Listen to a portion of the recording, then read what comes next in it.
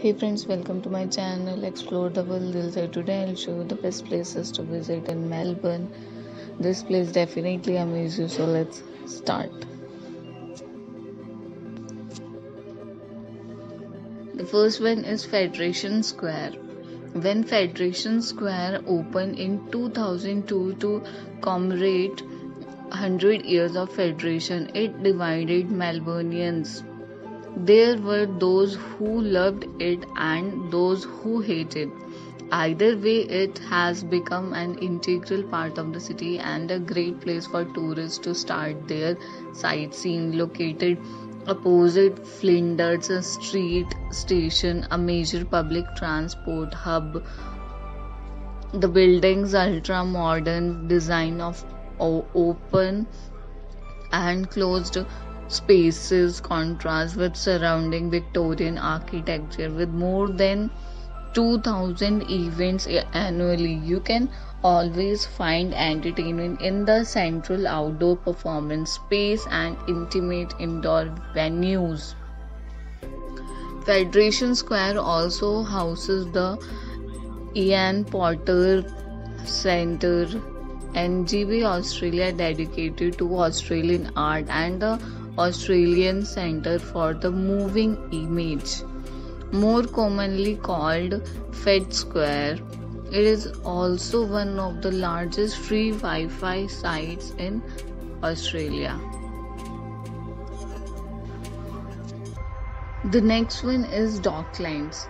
Docklands is Melbourne's newest waterfront entertainment precinct with the highest concentration of green star rated buildings in the southern hemisphere. The satellite village is filled with cafes, restaurants, tourist attraction and parkland. The view from the giant observation wheel Melbourne Star is spectacular and the area is also home to Etihad Stadium, the Junior Wonderland amusement park and the Ice House a world-class ice sports venue. An art and vintage market is also held along the waterfront every Sunday. Melbourne Cricket Ground Melbourne is the sporting capital of Australia so it's no surprise that the sports stadium numbers among the city's top tourist attractions with a capacity of 1 lakh and a history dating back to 1853. The MCG is considered one of the world's greatest stadiums as the main stadium for the 1956 Olympic Games and 2006 Commonwealth Games the birthplace of Test cricket and the home of Australian rules football. The G is woven into the fabric of Melbourne. Daily 75 minutes tours take visitors for a trip down a memory lane of great moments in, in sporting history and incorporate the national sports museum including the Australian Gallery of Sport and Olympic Museum. You can also catch a game of cricket in summer of, or football during winter. Directly opposite the MCG is Melbourne Park, home of the Australian Open tennis tournament held every January. You can hire a tennis court and make concerts are held here during the year. If you already visited that place, then please let me know on comment box. If you like this video, then don't forget to share this video to your family and friends. The third one is South Bank and Arts Centre, Melbourne.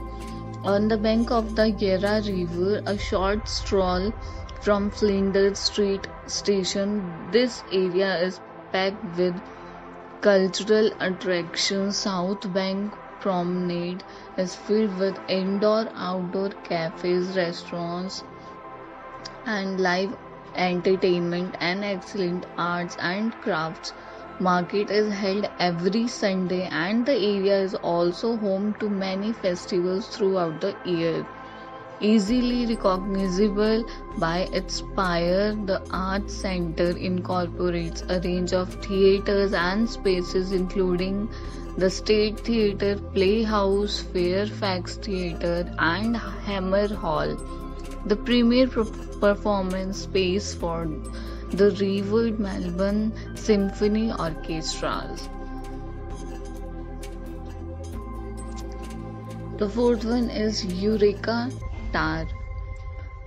Eureka Tower, named in recognition of the Eureka Stockade, the 1854 rebellion of prospectors in the Victorian goldfields, the Eureka Tower stands 91 stories above ground in the heart of South Bank.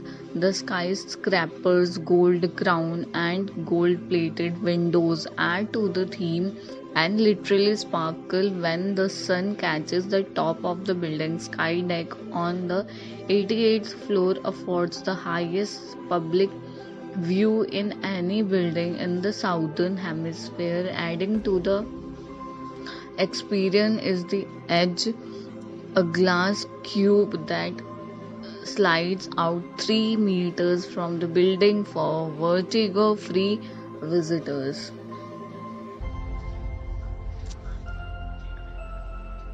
And the last one is Flinders Street Station. Flinders Street Station is the busiest and the oldest railway station of Australia, located in the heart of Melbourne. It is the nexus of city suburban train network and is considered as one of the iconic Melbourne sightseeing places. If you visit Flinders Street Station, then don't miss a row of clocks at the entrance doorway is also counted as one of the significant landmarks of the city. If I missed any place in Melbourne, then please let me know on comment box so that I can add on to my next video. Thank you so much for watching my video. If you like the video then please do subscribe, like, comment, share to my channel and don't forget to press the bell icon so that you can get the notification for new videos.